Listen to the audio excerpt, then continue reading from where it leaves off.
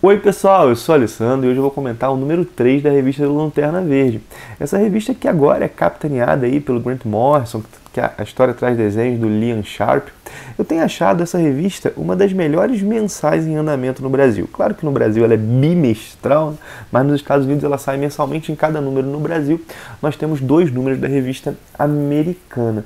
Tenho gostado realmente bastante disso aqui. Junto com a revista do Venom, são as, que são as minhas duas mensais de super-heróis aí preferidas. Né? Tem aí a do Capitão América, que é bacana também, mas estou deixando acumular. Eu acho que é uma revista boa, mas que o formato mensal não é o melhor para ser lido, é melhor ler encadernado.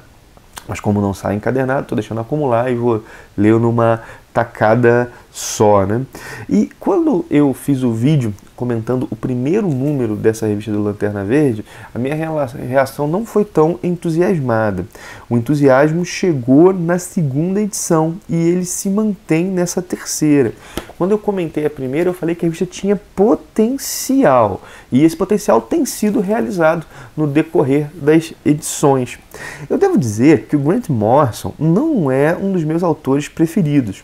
Eu reconheço a inventividade, o desejo de inovar que o cara tem, mas a linguagem experimental e por vezes hermética que ele costuma usar nos seus quadrinhos é algo que costuma me repelir, não me agrada tanto, né? Eu digo isso pensando, claro, que em trabalhos assim de uma fase mais recente, tipo Crise Final, trabalho dele no Batman, eu normalmente, eu acho que normalmente ele tem ideias muito boas, né? mas a forma que a história é contada, a narrativa que ele imprime, não, não, não é das minhas preferidas. assim. E eu prefiro, inclusive, trabalhos mais antigos do Grant Morrison, trabalhos como Homem Animal. É, eu gosto muito de Patrulha do Destino, que tem uma loucura nos conceitos, mas não na narrativa. E esse Lanterna Verde aqui me lembra mais os trabalhos desse Morrison do início. É criativo, mas com narrativa mais clara. Claro que, ao menos até agora, esse trabalho está aquém dos primeiros, mas ainda assim é bem legal. Antes de começar a escrever o título, ele disse que ia imprimir um tom tipo policial no espaço. E é isso que ele está fazendo. Inclusive, traz vários temas ligados à vivência policial. Nos primeiros números ele abordou, por exemplo, o tema da violência, do excesso de violência por parte dos policiais, também a frustração da justiça não sendo feita. E nessa edição aqui o que nós vemos é ele abordando a experiência de ser um policial infiltrado. Gente, eu me amarro nesse tipo de história, assim, nessa história do policial que se faz bandido para investigar. Eu acho que é o tipo de história que gera muita tensão, né? o medo de a qualquer momento ser pego e também gera dilemas éticos. Assim. Isso, inclusive, está aqui, essa ideia do dilema ético.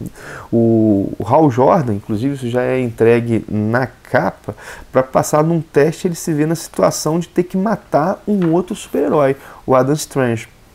E a experiência de ser infiltrado também é algo que afeta a pessoa, porque ela passa a ver as coisas sob os olhos do grupo que ela está combatendo.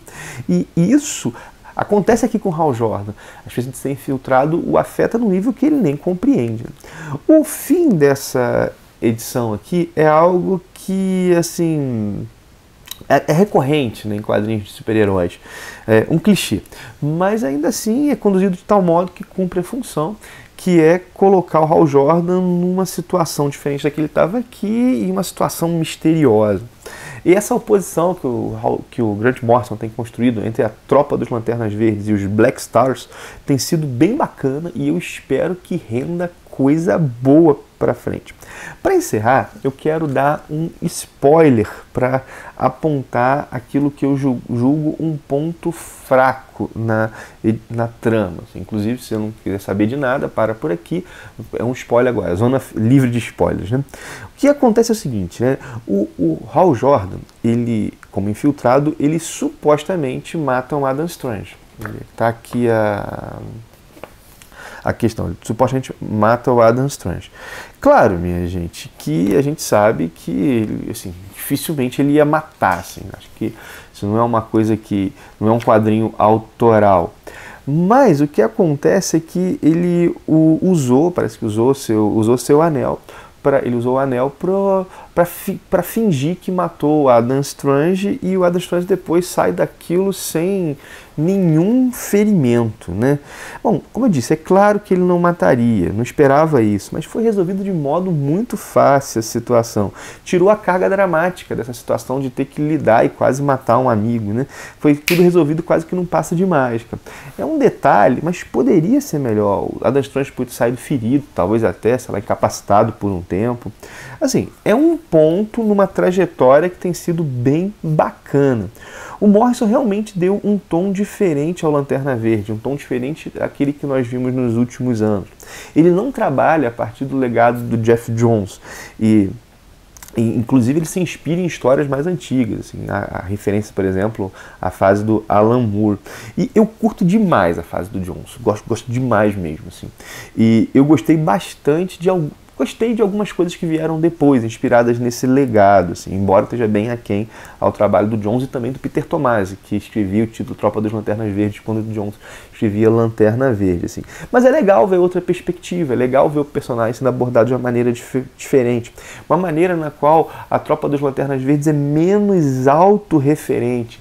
As histórias não versam, sei lá, sobre a própria tropa, sobre profecias envolvendo a, tropa, a própria tropa, sobre essa questão do espectro das cores, o surgimento de várias, várias tropas, as histórias não versam sobre isso. E isso é algo intencional no Grant Morrison, e é algo que eu tenho, eu tenho achado bem legal, né? Como eu disse, eu tenho gostado aí bastante, espero que a qualidade seja mantida. Essa semana chegou aqui em casa o número 4, né? Eu fiz a compra na loja da Panini, logo logo devo ler, vai aparecer aqui pro canal, no canal, inclusive na capa do número 4 tá aquela reedição da parceria clássica Arqueiro Verde e Lanterna Verde que tem, né? daquela fase lá do Daniel New e do Neil Adams. Bom, é isso, né? Agradeço você ter visto o vídeo, lembro do joinha, lembro do do compartilhamento se você gostar, se você gostou do vídeo, e também do, do link da Amazon, que eu deixo em todos os meus vídeos, caso você vá fazer uma compra nessa loja. Entrando por esse link, isso ajuda demais o canal a se manter, a melhorar, e me ajuda a financiar a produção de cada vez mais e melhores vídeos. É isso, um abração e até o próximo vídeo.